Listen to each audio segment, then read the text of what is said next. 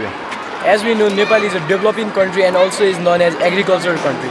But in Nepal, at present, the youths are not being encouraged in the agricultural field.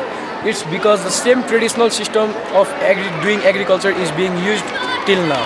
So we have designed something modern, in a modernized way, which can, which is automatic, and the farmers don't have to go in the field regularly and check whether the amount of water or the moisture level is maintained in the soil or not for the crops to grow. Sometimes the crops get wasted due to the unfavorable climatic conditions or sometimes they get wasted due to the insufficient amount of water or sometimes due to the excess amount of water.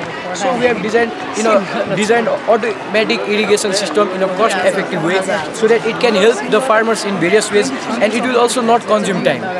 An outlet is con connected to the beaker and that and the water collected by the beaker can be again reused in the same pump which we have connected at first. So it can be used as a cycle and it will go on. Just like we can show you the demo. Just like here we have two sensors we kept we have kept one at higher level and one at lower level. When the water level reaches the higher level sensor and gets in contact then the irrigation will stop automatically and again when the water level decreases in the field then the irrigation will automatically will be switched on and it will irrigate till the water level reaches at the appropriate level which will be appropriate for the crops to grow. Now I'd like to call Swastik Pandey to describe something about street lights which we have designed in our smart